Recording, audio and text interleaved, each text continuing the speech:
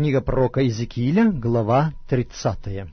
«И было ко мне слово Господне, Сын человеческий, из реки пророчества, и скажи, так говорит Господь Бог, рыдайте, о злочастный день, ибо близок день, так, близок день Господа, день мрачный, година народов наступает, и пойдет меч на Египет, и ужас распространится в Ефиопии, когда в Египте будут падать пораженные, когда возьмут богатство его, и основания его будут разрушены.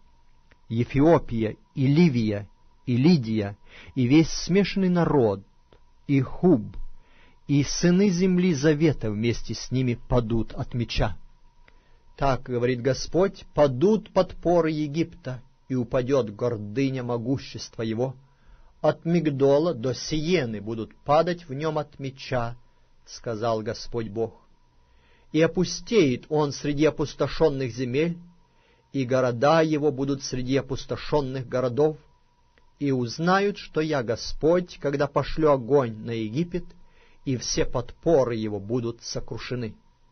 В тот день пойдут от меня вестники на кораблях, чтоб устрашить беспечных ефиоплян, и распространится у них ужас, как в день Египта, ибо вот он идет. Так, говорит Господь Бог, положу конец многолюдству Египта рукой Навуходоносора, царя Вавилонского. Он и с ним народ его, лютейшие из народов, приведены будут на погибель сей земли, и обнажат мечи свои на Египет, и наполнят землю пораженными. И реки сделаю сушею, и предам землю в руку злым, и рукою иноземцев опустошу землю и все наполняющее ее. Я, Господь, сказал это. Так говорит Господь Бог, истреблю идолов и уничтожу лжебогов в Мемфисе, и из земли египетской не будет уже властителя, и наведу страх на землю египетскую, и опустошу Пафрос, и пошлю огонь на Цоан, и произведу суд над Но, и изолью ярость мою на Син, крепость Египта, и истреблю многолюдие в Но. И пошлю огонь на Египет, вострепещет Син, и Но рушится, и на Мемфис нападут враги среди дня. Молодые люди Она и Бубаста падут от меча, а прочие пойдут в плен. И в Тафнисе померкнет день, когда я сокрушу там ярмо Египта, и прекратится в нем гордое могущество его. Облако закроет его, и дочери его пойдут в плен. Так произведу я суд над Египтом, и узнают, что я Господь. В одиннадцатом году, в первом месяце, в седьмой день месяца было ко мне слово Господне.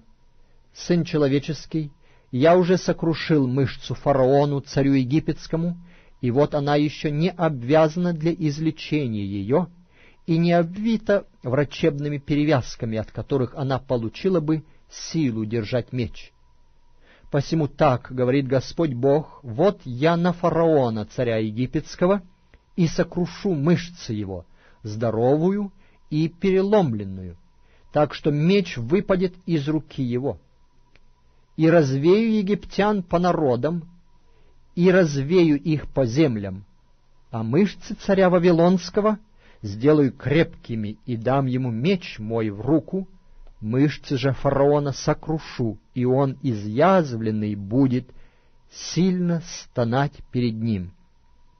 Укреплю мышцы царя Вавилонского, а мышцы у фараона опустятся, и узнают, что я Господь, когда меч мой дам в руку царю Вавилонскому, и он прострет его на землю египетскую, и рассею египтян по народам, и развею их по землям, и узнают, что я Господь.